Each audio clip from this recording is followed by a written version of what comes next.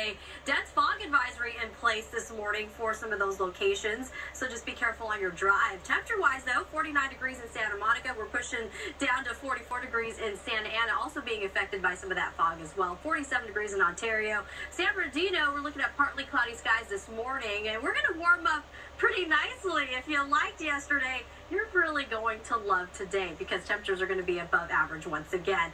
Weather alerts, that fog advisory expected to lift by 9 o'clock this morning as we get into sunrise later on this morning and it will dissipate. It will see more sunshine. It is dry. Just to give you an idea, yesterday, look at all the 70s on the map. We were talking about that potential and it did pan out. Burbank hit a high of 73 degrees yesterday on average 67. So we, uh, or at least in the Burbank area, six degrees above normal. We're actually going to be warmer today, possibly mid 70s, maybe even upper 70s in some of our valley communities in the Inland Empire. Nice and mild for those interior spots and even our coastal locations outside the morning fog.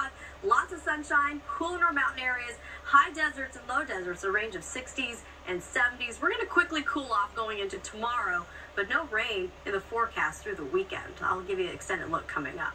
Roxia?